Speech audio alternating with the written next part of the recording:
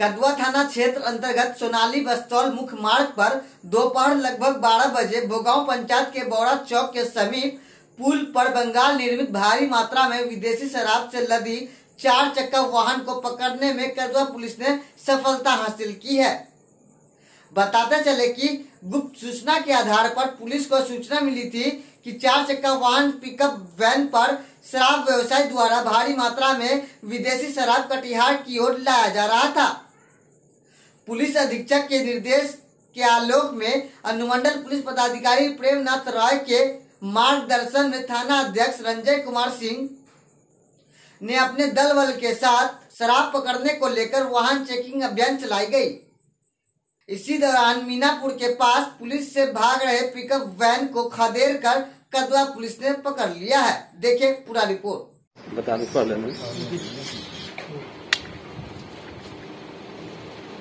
आज थाना थानाध्यक्ष कदवा अपने थाना के सहानी शशि राय और सशस्त्र बल के साथ सुबह में पुलिस अधीक्षक महोदय कटिहार के दिशा निर्देश में और साहब को पिछले मीटिंग में कहा गया था कि विशेष का अनुमंडल पुलिस पदाधिकारी सीआई, एसएचओ स्वयं चार बजे भोर से लेकर ग्यारह बजे तक गतिशील रहेंगे, विशेष लेकर शराब की आवाजाही पर इसकी सूचना पर थानाध्यक्ष स्वयं आज निकले हुए थे।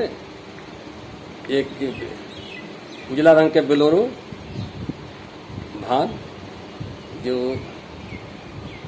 पश्चिम बंगाल की से आपका मीनापुर चौक, सनौली होते हुए वहाँ पर भी मीनापुर चौक पर भी चौधार वहाँ था ड्यूटी में और फोर्स था।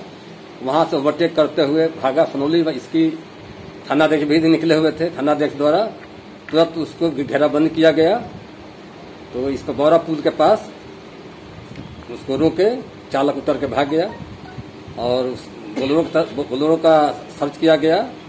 तो आलू प्याज के बोरी ऊपर था और नीचे में आपको 60 कार्टून अंग्रेज़ी शराब था। इसका कुल मात्रा पाँच सौ चालीस लीटर हुआ। बरामद किया गया है और गाड़ी के मालिक और चालक के विरुद्ध एफआईआर किया जा रहा है और उसे हर हालत में लोग गिरफ़्तार करेंगे। कदवा थानाध्यक्ष का ये कार्य काफ़ी सराहनीय है। पीछे यही कुछ दिन पर ऐसा ही एक पकड़ा गया था।